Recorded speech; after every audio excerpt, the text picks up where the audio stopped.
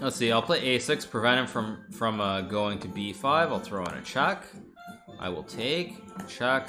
Let's see if I can how how close I can get to a mate. Let's see. Can I get it?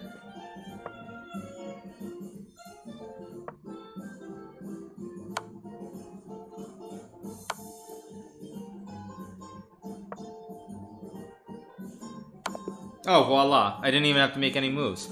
Alright, let's play Chess Guy 1012.